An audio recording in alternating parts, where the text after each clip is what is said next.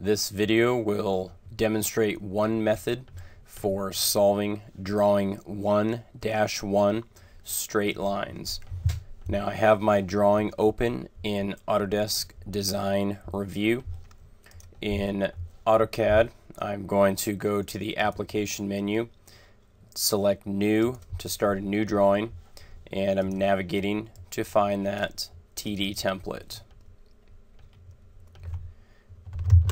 If I take a look at my drawing, I need to find a starting point. Now I have my drawing itself and I have a bunch of different dimensions.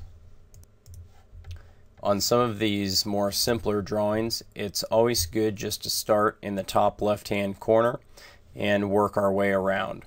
So if I take a look at this line moving across my drawing, I'll notice that it is 8 inches in length all the way across. So I'm going to start by drawing a line that's 8 inches. So I'm going to select my line command, left click one time in my drawing area to select a point. I'm going to type in 8 for 8 inches and hit enter and I'm going to press escape and see what my next value is.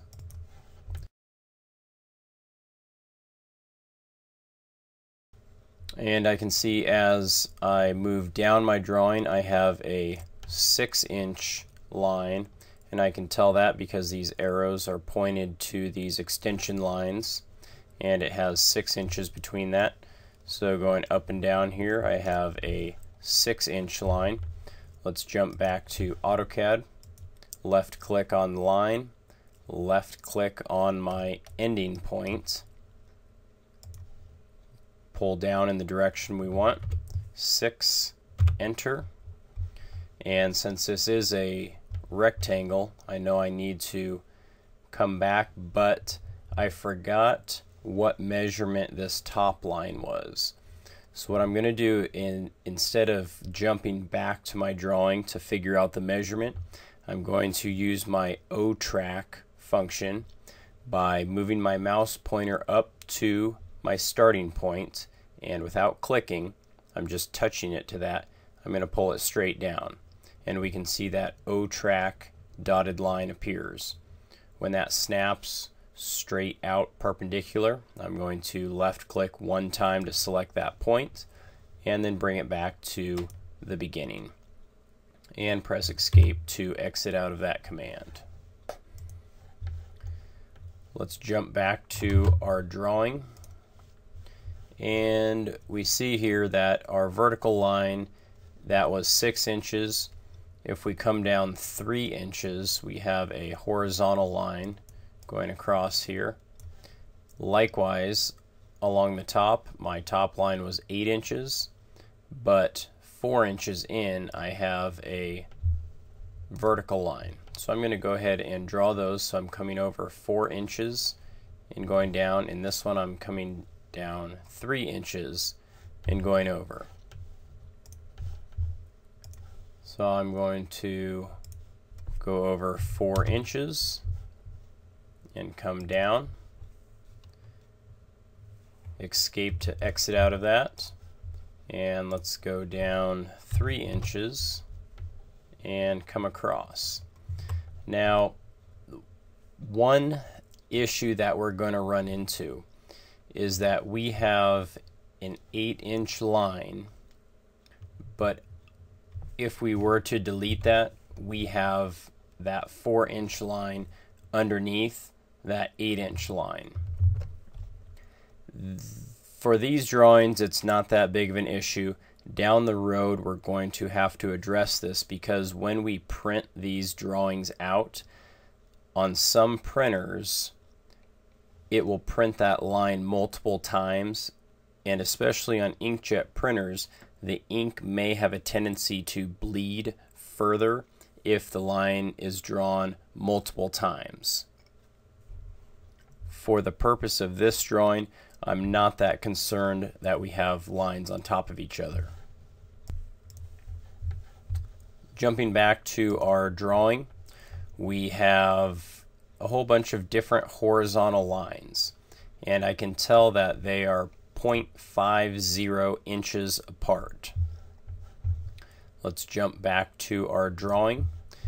And if you remember, we can offset a line a specified distance away from a previous line, or basically just duplicate that line a certain distance away by using our offset command. Our offset command is located on our modify area offset and I'm going to left click one time and I don't remember what I'm supposed to do next. So what I'm going to do is look down here in the command line and that's going to tell me what to do. It says specify offset distance. Well how far do we want that away? Well the drawing says that we want it 0.50 inches away. So I'm going to type in 0.50 and press enter on my keyboard and now it's asking us to select an object to offset. So this is saying, well, you want to do something a half inch away, but what do you want to do? It wants you to click on that. So I'm going to click on this top line here because that's the one I want to offset. And now in our command line, it's telling us to click on which side of the original object we want that line. And if you come up here and move your mouse, it will kind of show you where it's going to put it. Well, I want this to be below the original line, so I'm going to click somewhere below it. Now, because I want to do multiple lines, I can just come in with my offset command still active, click the previous line, click below it, previous, below it, previous, below it, and continue that all the way down. When I'm done, I can hit the escape key and exit out of that command. And we're ready to continue on with the drawing. If I jump back to my original drawing, I notice that the vertical lines are also 0.50 away from this each other. So I need to draw those next. So on my drawing here, I could use the offset command to do the same thing that I previously did, or I could just come in here and type in 0.5 and draw a line down and come over this way 0.5 and draw a line up and come over this way 0.5 and draw a line down and that's okay because we are getting those lines a half inch away. Uh, we will run into an issue down the road where we have little tiny pieces of line underneath other lines. Again, for this drawing, not that big of a deal. But it is another method of creating lines a specified distance away. It takes a little bit longer because you're keying in more numbers and you're clicking a few more times. If you did the offset command, type 0.5, enter, and then just click and keep clicking. It's a little bit faster, but it gives you the same result. Let's exit out of that by pressing escape and let's jump down to our drawing. Now we run into a little bit more of a challenge where we have some diagonal lines that we need to draw. I'm going to come in here and delete these lines that I've drawn on top of it so it's a little bit easier to see. And if we come in and we zoom in really close on all of these lines, we need to find a point of reference to be able to start our diagonal lines. Now we we know that they are a half inch apart and we can assume that they're 45 degree angle. So we need to figure out where exactly to start. Well, what we're looking for is a point where we have two lines connected together. And if you, there we go, if we take a look right there, we can see that these two lines are perfectly lined up. This one, not lined up. That one is not lined up. So our point of reference is going to be this first line right here. Let's go ahead and jump back to our drawing. Let's zoom in on our bottom quadrant and select our line command. I'm going to start from my point of reference. Now, what we want to do is we want to draw a line in the general direction of where we're going. But we don't quite know what angle to draw it at. We we assume that it's a 45 degree angle based off the drawings, but when I draw it at what I think should be 45 degrees, it says 135.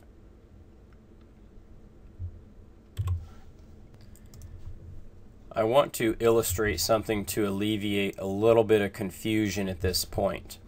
I'm going to draw a circle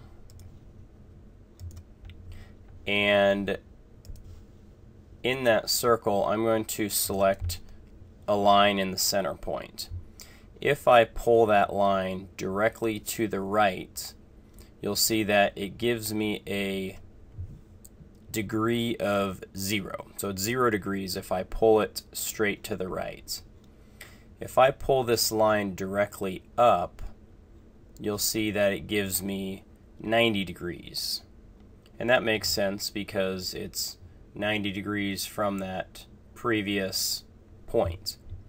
If I pull it straight to the left, it gets me 180 degrees.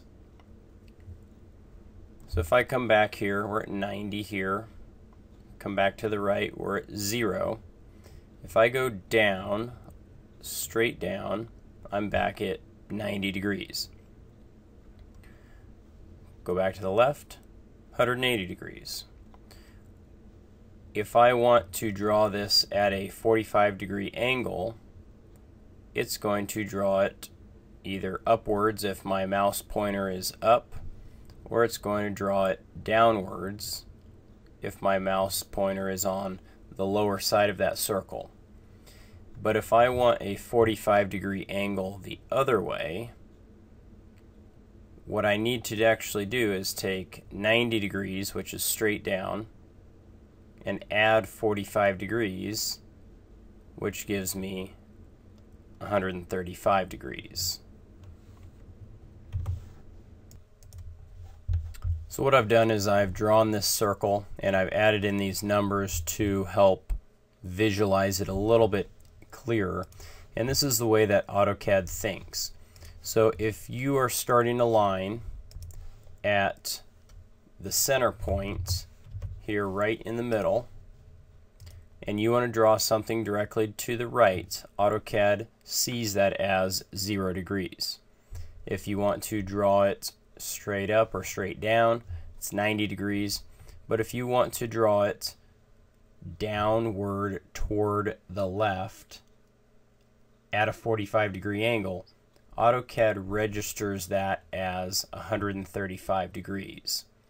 And that's one of the little quirks that you have to kind of get used to and you know it's, it's good to maybe write write this down and post it next to your computer.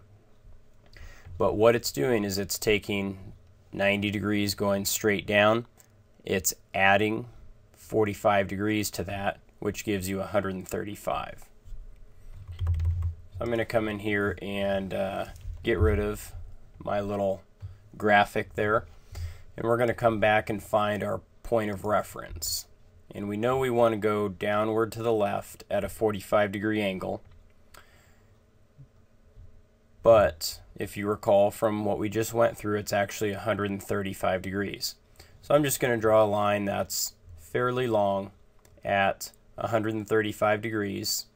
And select that point and if I'm left with a little tail that's perfectly fine. Because I can come up and I can locate my trim command. So let's see here. And I don't remember where that trim command is but we can come through here and just hold the mouse pointer on our buttons and that gives us some some tool tips Okay, oh, there, there's the trim. So I found the trim command. And if you remember from the other day, the best way to use trim, the easiest, quickest way, is when you select trim, just press enter on your keyboard to select everything, and then just click on what you don't want, and hit escape to back out of that command. Now, I have one diagonal line at 45 degrees down to the left or 135 degrees and I need to make a whole bunch of them that are 0.50 inches apart. So I'm going to use that same offset command to offset all of these little lines.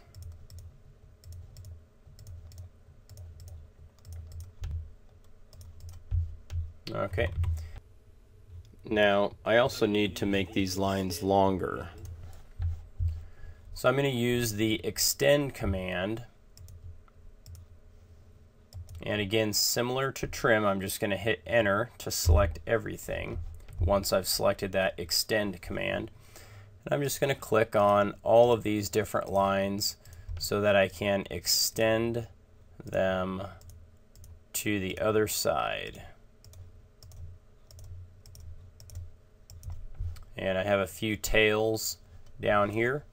So I'm going to select my trim command, press enter on the keyboard to select everything, and click on what I don't want.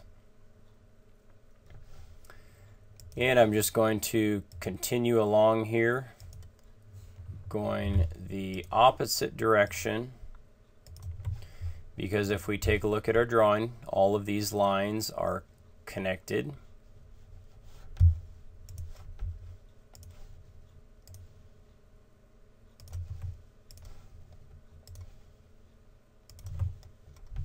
And now I need to move back to my offset command.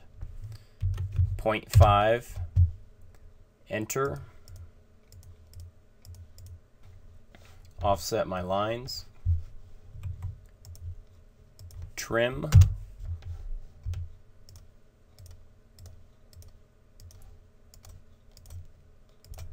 And extend. Enter to select everything.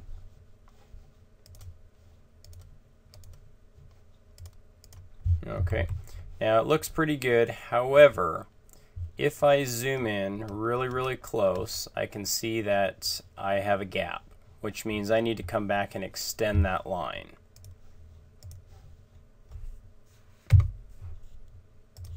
There we go. And let's just, we can zoom in and take a look at some of these other ones just to make sure that we're lined up. And it's looking pretty good. And that is one method of solving the first drawing called straight lines, drawing 1-1. The last thing we need to do is save our drawing. So I'm going to come up to the application menu. I'm going to save my drawing, navigate to the desktop and locate my AutoCAD folder. And I'm going to save this as Olson 1-1 and I've already actually drawn this and saved this. So I already have that file on there. But you will want to save it with your last name and 1-1